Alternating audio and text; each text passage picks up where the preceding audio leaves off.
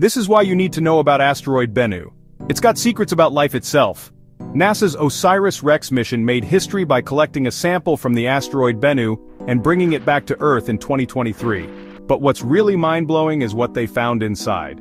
Scientists discovered amino acids, 14 of the 20 used by life here on Earth, as well as all five nucleobases, which are essential for storing and transmitting genetic information. Think of these as life's building blocks, but wait, there's more. The sample also contained high levels of ammonia and formaldehyde, ingredients that can react to form even more complex molecules like amino acids. And they found 11 minerals that suggest Bennu once had a saltwater environment, just like some places here in our solar system like Ceres and Enceladus. So, what does this mean? While there's no direct evidence of life, these findings suggest that the ingredients for life were spread all over the early solar system. This ups the chances that life could form elsewhere, not just on Earth. But here's a twist. The amino acids in Bennu's sample were an equal mix of left and right-handed forms. Life on Earth mostly uses left-handed amino acids, and scientists still don't know why.